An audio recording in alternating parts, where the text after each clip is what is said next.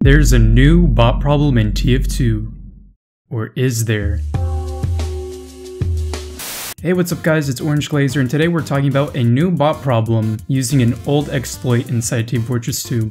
Now, the thing with this exploit is that it's not only bots that can do it, but any players that can do it. This exploit is a very old exploit that players could use to where you could remove someone else's loadout. This sheet only takes your second and third cosmetic, so you'll at least have your first cosmetic, so whatever's most important to your loadout, I think I'll just slap that on the first cosmetic.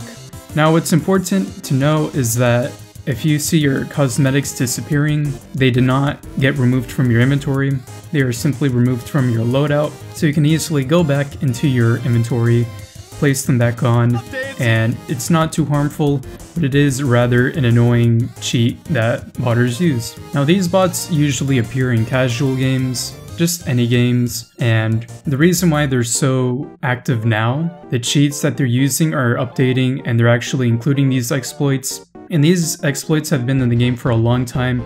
You can look back at several videos in the past, even some YouTubers have shown off this exploit. I can unequip a hat on your, on your. On my loadout? Yeah, you're playing Scout, yeah? Yeah. I Wait, still do it. Yeah, yeah, yeah, come and spawn. Okay, let me see if it works. Alright, check your loadout. Go no, go in your inventory. Wait, what you took you took my flag jack off? How did you do that? And it's relatively harmless, which is why Valve probably hasn't patched it by now. I think it's something they should patch now, if possible. Now, is there really any way to avoid this cheat?